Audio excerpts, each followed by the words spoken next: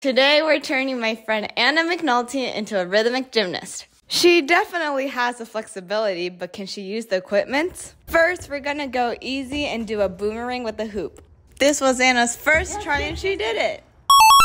Now to add the flexibility that she has, let's use the ribbon. These are called snakes. Before we start, let's take out the knot. Now that's a beautiful needle with the snakes. And finally, a really hard one, catching in a walkover with the ball. Now, this one's hard, so it might take a couple tries. It was really close, so let's give her another try. Hmm, let's make it a little bit more easier for her. So we can do slate jump, catch, and then back. Catching it with both hands definitely helped out. Anna did an amazing job for her first time being a rhythmic gymnast.